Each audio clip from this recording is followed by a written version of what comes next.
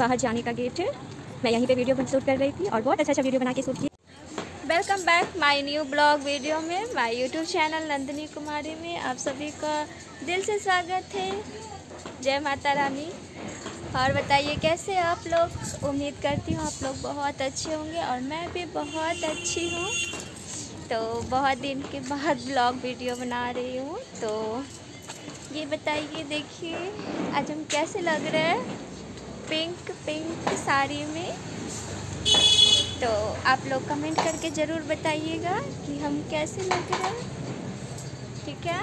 और जो भी मेरे वीडियो पे नए देख रहे हैं तो प्लीज़ चैनल को सब्सक्राइब कर लीजिएगा और लाइक कर दीजिएगा। और अभी अभी मैंने शॉर्ट वीडियो बना के अपलोड करी है तो प्लीज़ आप लोग जाके देखिए। और कैसा लगता है वीडियो प्लीज़ कमेंट में बताइएगा।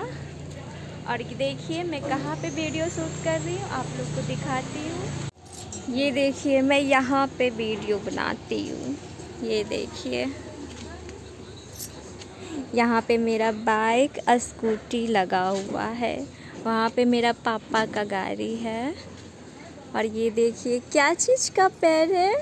आप लोग पहचानते हो? कमेंट में बताइएगा। और ये देखिए, फूल का है। फूल का पैर कितना अच्छा लग रहा है एकदम से। देखिए। और इधर भी देखिए, ये भी फूल का पैर है।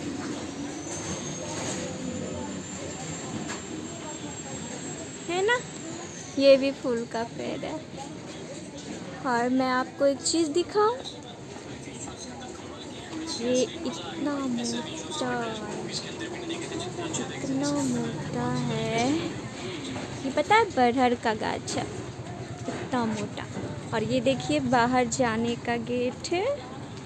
मैं यहीं पे वीडियो बन, शूट कर रही थी और बहुत अच्छा अच्छा वीडियो बना के शूट की हूँ।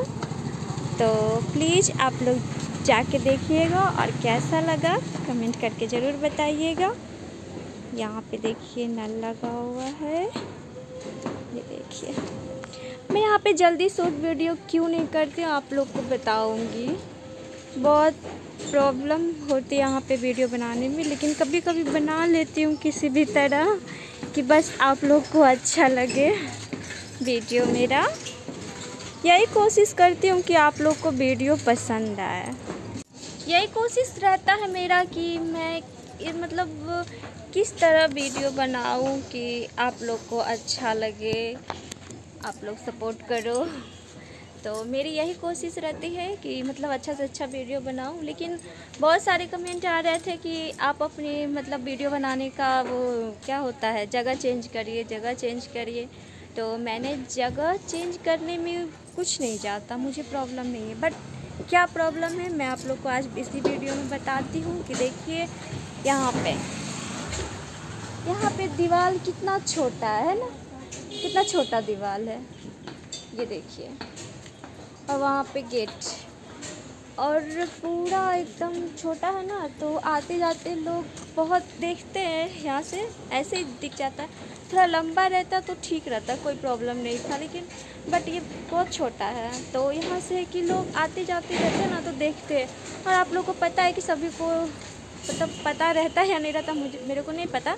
लेकिन सभी मतलब खड़े होकर देखने लगते कि क्या कर रही है तो अच्छा नहीं लगता है। तो और ये देखिए चारों तरफ़ रोड है, ये देखिए। मैं आपको दिखा रही हूँ बाहर से। ये देखिए। चारों तरफ़ आपको रोड, इधर जाने का रास्ता, इधर जाने का रास्ता।